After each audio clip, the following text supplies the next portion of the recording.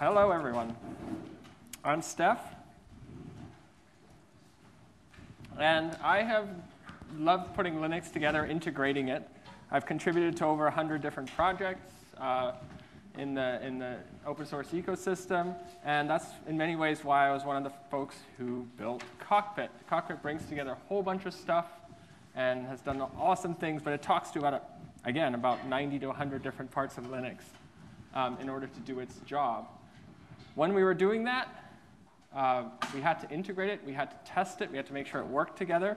And so I got dragged into the strange world of continuous integration and testing. We're trying to make the operating system more integrated and work better together. So I'm a CI freak, and um, I often get teased about this. I work for Red Hat. Hey, I'm Tomas, and I like containers.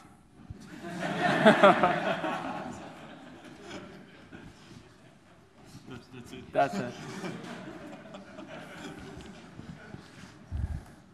so, a self-maintaining package. Wouldn't we like that? Um, what we really want is for the package to do its dirty work itself, to automatically have that taken care of for you. And you have, instead of having something that you have to take care of bit by bit by bit, you basically have to train and take care of it in a much higher level way. But why would you want such a thing? Why are we looking at such a thing? Why is it an interesting problem for us to solve? Well, it's much more fundamental than that. We bring together tons of packages into a Linux distro, Fedora. There's, there's uh, what is it, five digits worth of packages, somewhere between 15 and 20,000. And we integrate them. And yet, each of those packages upstream, most of them, do not have any immediate feedback on how they affect the rest of the distribution, the other 15,000 packages. We all contribute back to upstream individually, and this is awesome. You can read it right in, the, in the, the basic description of how to be a package maintainer. Send your work upstream. But as a distribution, we do that very, very poorly. The distribution itself, represented in the upstream project, is not really on the radar. They know it exists, but it's not in the workflow of those projects. Some upstream projects bring it into their workflow. I know that uh, systemd does this, Cockpit does this. There's a bunch of them that does do this, where a certain pull request, a change is proposed to the project, and immediately testing is, they, they figured out how to do this. It takes forever. It took them six months to a year to implement something like this. Figure out how it works on the distribution, Dora, Debian, RHEL, whatever, and bring that feedback immediately to say, hey, you broke shit. Um, but it's tough for this to happen for each of those projects. It's difficult to make this work. So, let's be clear. We probably have a lot of people here are excited by the act of packaging. And that's nice, but keep in mind, it's not exciting for most upstream projects. It's like the nasty stuff that they have to do. It's the cleaning up the mess of the baby.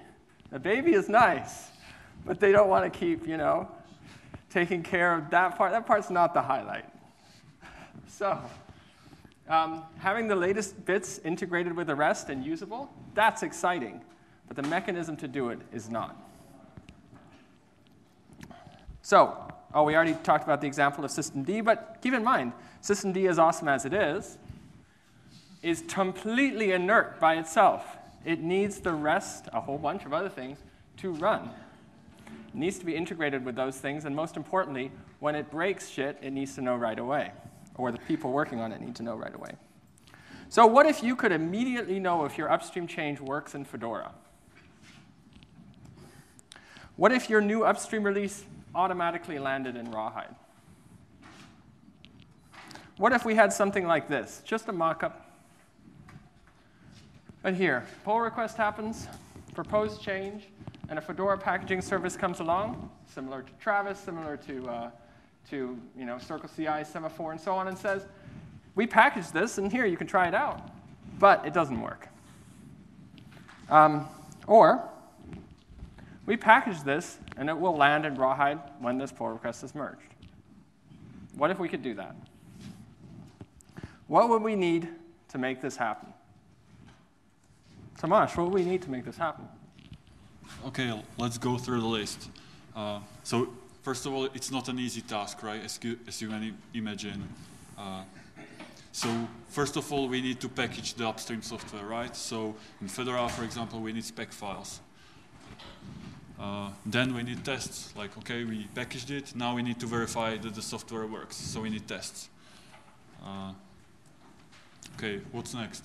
Uh, we have these two, it's, it's pretty nice, but if we don't use this, if we don't use the spec file, we don't run the tests, and we just like blindly put it into the distribution, we have no idea whether it works. So we need, we need to build a gate we need to make sure that if the tests are failing, we don't put that content into our distribution and we keep going on until all, all is green. Uh, and finally, it would be very nice if all of this was done automatically. So I, I, for example, as a package maintainer, wouldn't need to go and fetch those tarballs and edit these lines in spec files and then type build and wait like 30 minutes and then it failed and now I need to do it again. I would love to have packaging service which would do all of this for me and all I would really need to do was just, yeah, I, I approve this change, do it. Uh, let's talk about all these points uh, a little bit more. So spec files. Uh, wouldn't it be nice if we had spec files upstream? Yeah, I, I can see that this is like a very controversial theme because some of the upstream projects don't even care about spec files. They don't understand them, they, or maybe they understand them, or maybe they think they understand them, and then you try to consume them downstream and realize that uh, they are trying to support like five different distributions and the spec file is horrible and unusable. Uh, so maybe spec files upstream is not the best solution, but somewhere it can work, somewhere it doesn't. So there's also another way how to solve this. So in Fedora specifically, we have a bunch of tools, uh, like, I don't know how, how they are called, but I call them spec generators. So in an input, you, you gave the name of the upstream project. As an output, you get a spec file. So we, we could use such mechanism that, for example, there is a new package on PyPI, and I use the pip2 RPM tool, and I would get a spec file, and I can use it right away and build a package in Fedora. Obviously, the, like the problem is changelog, because you need to populate it, and if the changelog doesn't make sense, if it's like 1,000 lines of commit messages, that, that's not useful, right? So we need to like figure it out how to do it. The other thing is release number in like name version release. Uh, the release number is specific to build system and like build system cares about it. So why should we as package maintainers should like treat release numbers like it should be automatically populated by the build system. Uh, okay, tests. So upstream projects have tests, right? Uh, so we can easily run them and see if the software works in our environment. Uh, then we need to have distribution tests, or we already have them, as Adam Williamson spoke in, in his talk. Uh, so we just run all these tests, and when they pass, we are pretty sure that the software works in Fedora Rawhide or in the distribution of our choice. Uh, but the thing is that we need to use those which are coming with the change. So if there is a new upstream release, we should use those tests which are coming from that release. Uh, and finally, every project runs or invokes their tests on their own. So we need an like a standard way to invoke it. So for example, we would have a definition that you have to do make test and like everything will run. Like that would be the like API. So we need such standard way. So let's look at the diagram how this like how this would work. So the whole nice green box is our upstream project. We have a bunch of different branches for our for releases of our software, and we would have automation to bring it automatically to uh, Fedora dist-git or uh, to like different Fedora releases. Uh, so in this case, the upstream project is all cool, and put the spec file in the test wrapper, the standard way to invoke the tests, in their branches, in part of their development. Many projects do this. We know of many that we maintain that do this. Um, this is not, this is not fictional, but and you can see certain branches on the Fedora side tracking that automatically without any intermediate party. Um, there's, there's, the automation would need to take into account who made the change, whether they did a GPG signature on a certain tag, or whether a certain uh, identity pushed into the Git forge, um, and then it could land in Fedora in, in these branches. Okay, thank you. Uh, what if the upstream project doesn't care about spec files and doesn't want to have spec files in their repository? Uh, then we can create a new Git branch like in GitHub or GitLab or Pagure or somewhere else and get all the upstream, uh, get all the upstream code, uh, stuff all our downstream changes, which is spec file, tests, test wrappers, uh, and even additional commits, which are fixes from the master branch. And you would have such branch and use this branch uh, to track like the upstream release and use it in downstream. And it would be just like a like simple simple repo or or a single uh, branch, and we could use it to for, to populate multiple branches. So the benefit is like for example, there is a new upstream release and you need to populate three different branches in Fedora. Like in this way, you would only set it in one and you would benefit in all three. Right. And this really is using Git in the way that God intended, well, Linus intended. Like the same thing. You have a branch, you have another branch, you have some different stuff on this branch. You may push this to a different repo, depending on what upstream says. And essentially using the tools, including um, GitLab, GitHub, the standard workflows that people are used to using in the way that they were designed. Okay, so the another thing we need to make all of this happen is gating of Rawhide. So right now, Rawhide is not gated. So whenever there is a new upstream release, it lands in Rawhide, and that's it. It's very, like, very easy to break Rawhide if your upstream release like changes something. So we need to build that gate and use it. Uh, so together we are trying, like we will do it with Fedora engineering. So we already started the discussions and hopefully it will be done sooner or later. Uh, and with the gating, we have increased stability because only the proven, tested content will land in rawhide. Uh, like at start, we can't like enable like enable it on all. Uh, we'll probably start with some core packages, with some important packages, and then we start on board more and more.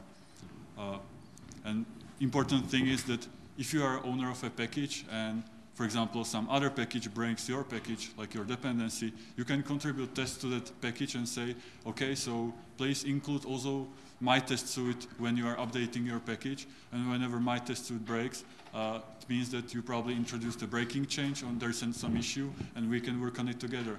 But I don't want to uh, find out it after like it's already landed rawhide and it's already broken and there are bug reports coming and there's fire on the roof and I need to like do it very quickly. Let's do it while we are still working on the code.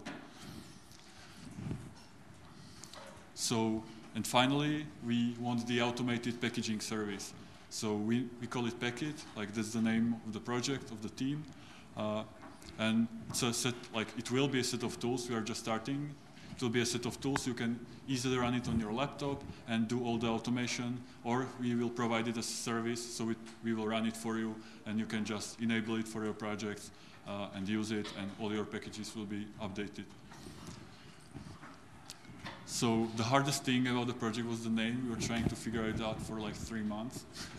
Check. but finally it's it. uh, so one of the things we would love to explore is opening pull requests for new upstream releases. So when there is a new upstream release, the tool or the service would create a pull request with all the changes, and you as a maintainer would just review the changes and say, yeah, okay, it looks good, all the tests are passing, let's just ship it. Or no, it's broken, I need to fix it, and you just fix it. Uh, at the same time, uh, Fedora engineering, in one of their services, is trying to do the same thing. So in the end, it doesn't like it's an implementation detail who actually implements it, uh, whether it's us or Fedora engineering, but we just need the feature. Uh, we also want to bring the feedback from uh, downstream back to upstream. So whenever there is a new up upstream release and it breaks Fedora, we can easily create issue on their tracker or send them an email and say your newest upstream release does, doesn't work. Maybe it concerns you. Maybe it doesn't, and we won't do it ever again. And it didn't land. Yeah, yeah, absolutely. Right. It, it, did, it didn't land. Didn't land in Rawhide. Tell them here are the logs. Try, please try to figure it out, and maybe in the next release it will work. Okay, so what are the benefits when you, when you are using this workflow? When you are using GitHub to develop your packages, uh, you can use the tools you know. For example, right now it's very hard to contribute to Fedora. You need to become the member, you need to use the tooling. And if you are using GitHub for that, when you just clone the repo, make the changes, push, and create upstream pull requests, that's very easy. So you can use the tools. We can use the tools we know and keep using them. Uh, everyone can contribute. We can benefit from the modern techniques like linters or CI uh, or I don't know what else. And finally, uh, I can even go and fork some package like systemd or kernel, make some changes, uh, and then push them and see if it works in Fedora or maybe even RHEL. Uh, so we are also planning when someone does, does, does such fork uh, and like changes something, we're planning to create a repository with the updated packages and you can install it on your laptop and use it right away and with, with the changes you just made.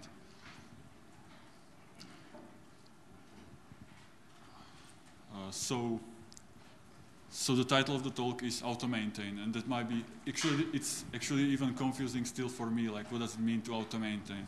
The thing is that you, uh, as a package maintainer or an upstream developer, you are still responsible for the content, and it's still your baby. We don't want to mess with your baby. We just want to keep uh, the dist-git up to date. So whenever you do some changes upstream or in the source git repository, you just take the changes and move them downstream and tell you re the results, how it goes.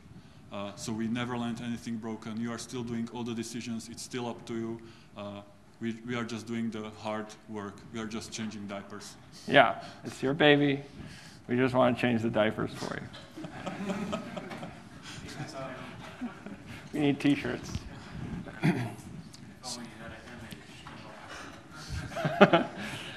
Boo.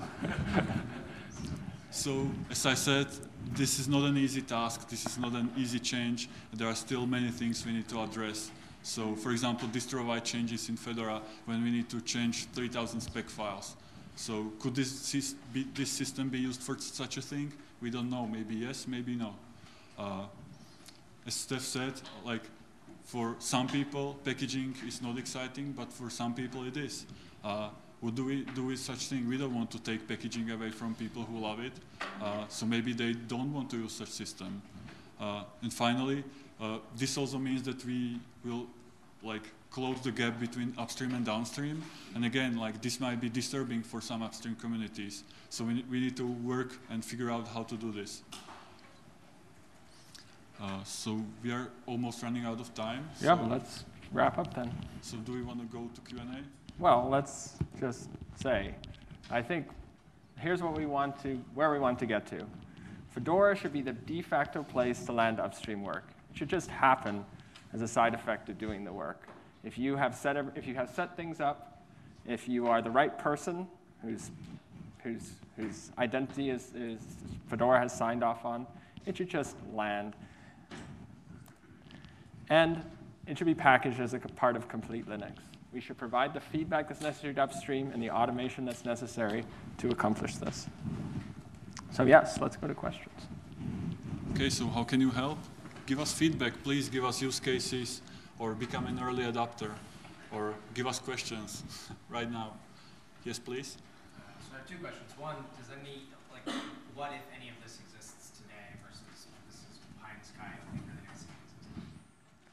So the question is, which parts of this exist today, if any, and whether it's pie in the sky? I would say that 90% of the ingredients exist. Rawhide gating is one of the key things that doesn't exist yet, and we're basically tying them together. Um, Adam wants to answer this? Another question. Okay, so we're not, we're not saying invent all the tools, tying them together in a workflow that has this effect on upstream. So that's, that's the job of the team to work together with the people who own these tools to bring them together and, uh, and do that. So yes and no. Dominic has a. I just want to point out it's not completely pie in the sky because we have we have packages that do that.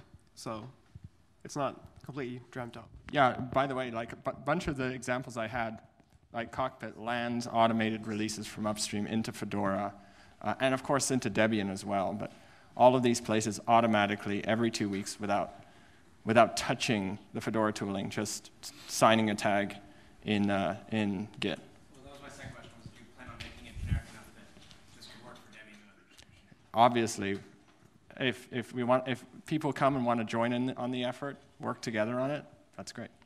because you know you've got upstream is built is bought into the effort. But I'm thinking about cases where I often see an upstream that has an awesome test suite. And I say, hey, how can we run that test suite for when the Fedora package changes? And the answer is very often you kind of can't because the test suite is innately tied to its environment, and its environment is not Fedora. It's like a Debian Docker image or something. That's where the test suite runs. It can't run anywhere else. Do you guys have any ideas for that kind of thing, or is it just a hard problem? Um, so it's obviously a harder problem than the ones where than the ones where it's trivial to run in any environment. But I know that uh, Debian has solutions for this with auto package tests. They do. They extract the sources, sometimes even build it, and then run the test inside of their environment. Or th- there's many solutions to this that we can try. In general, though, if we if we cover the ones that are easy in Fedora, the thousands of packages that do work, and leave those exceptions to then do the hard work of getting them onboarded later, we'll prove the idea before we then try and solve every really tough problem. Any other question? How, do- how much time do we have? One more? Three minutes. We've got time. Dennis. is within scope for something to say, you know, quite often when packages update, they give you dependencies, and instead they, you know, there's an updated package, also packaging up, and submitting for review new packages. Well, that's, that's definitely a good discussion point. Um, so the question is, uh, can, we, can we make some of this work for new packages, make the new package workflow easier? Um, and that has been brought up, and I think it's plausible. Um, and I think, I think it's worth discussing. Um, I, I, don't, I, don't have, we, I don't think we have an answer there, but we definitely, in the last couple days, discussed this. I- think we haven't touched on it much, so we can definitely put it on the roadmap and Yeah. start thinking about it, how to do it. Yeah. So, in the long run, how do you envision this working? Like, will the upstream maintainers taking care of the Fedora packaging, or Fedora maintainers contributing to packaging directly upstream? That's a good question. So, how do we envision it working with uh, upstream maintainers taking care of more Fedora packaging or Fedora maintainers contributing packaging work upstream? I say Fedora, but I mean, like, of course, Also, other. Right. So, how do we, in general, I think all two or all three really.